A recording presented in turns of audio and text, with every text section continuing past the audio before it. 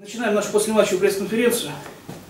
Вашему вниманию главный тренер футбольного клуба «Динамо Брянск» Дмитрий Борисович Ларин. Дмитрий Борисович, ну, пожалуйста, поделитесь своими первыми впечатлениями об игре. Потом будут вопросы. Я не знаю, будет ли много вопросов, но комментарий у меня будет, в принципе, краткий.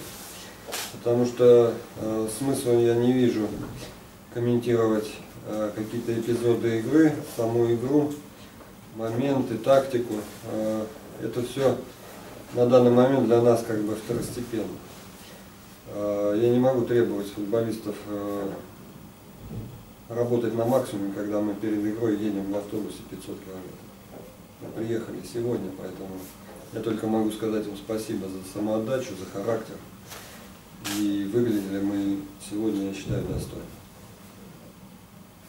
Пожалуйста, В вопросы. принципе, всё. Это дело касается материального положения клуба, да? Да. Нам остается только надеяться, что в ближайшее время ситуация поменяется и будет на нашей улице праздник.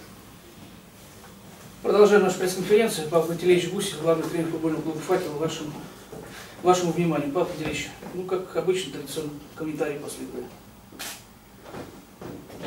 Тяжелая игра, тяжелая победа.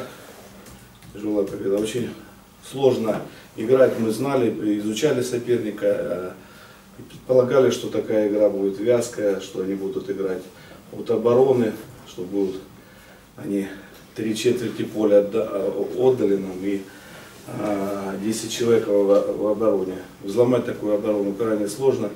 Хорошо, что удалось в первом тайме хорошая фланговая атака с завершением.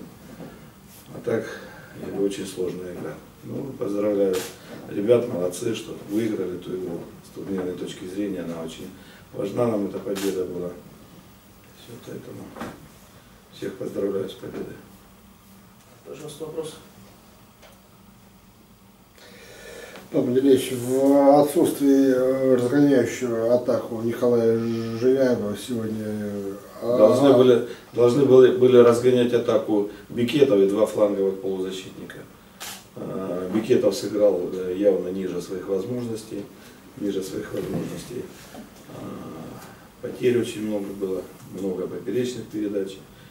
И фланговые игроки, задание было дано максимально широко. Если в первом тайме и э, до, до- до замены Турик пытался ширину растянуть по ширине фланговым э, двум полузащитникам было дано задание, то Альшин, скажем так, скажем так, не совсем справился с этим заданием. По первому тайму он все время сваливался в середину сюда, и фланг у нас э, с правой практически не работал.